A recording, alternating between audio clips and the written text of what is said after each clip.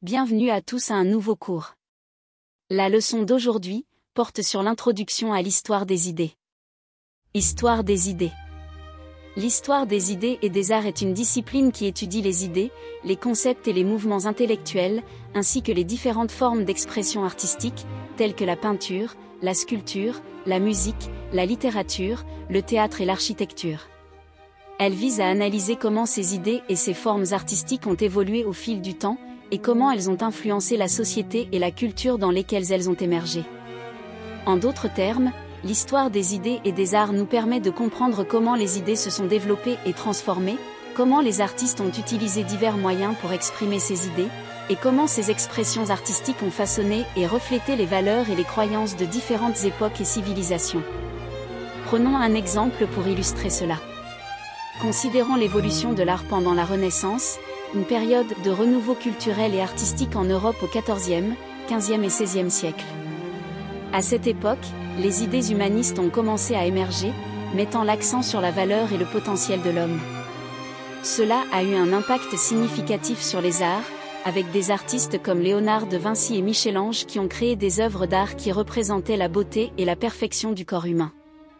Les peintures et les sculptures de cette période étaient caractérisées par la précision anatomique, la perspective réaliste et une attention méticuleuse aux détails.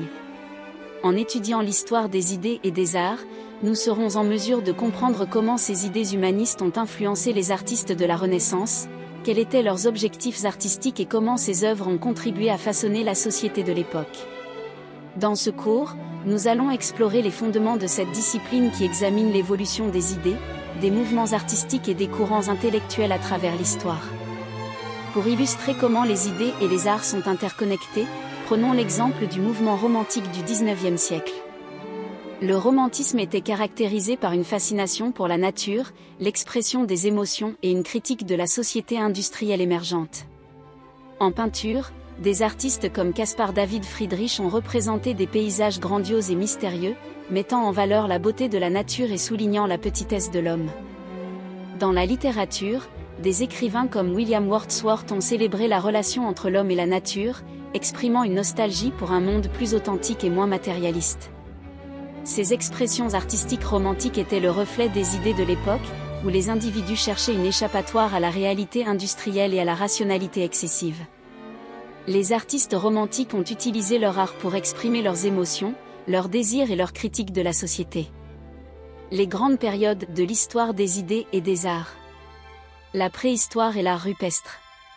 La préhistoire. La préhistoire est la période qui précède l'invention de l'écriture, remontant à environ 2,5 millions d'années jusqu'à 3500 avant notre ère. C'est une période où les êtres humains vivaient principalement de chasse, de cueillette et de pêche. Durant cette période, l'art jouait un rôle essentiel dans la vie quotidienne des hommes préhistoriques. L'art rupestre. L'art rupestre est une forme d'expression artistique réalisée sur les parois de grottes, de cavernes ou sur des rochers en plein air. Il est souvent associé à la période de la préhistoire, bien que des exemples plus récents existent également. Merci infiniment de votre attention.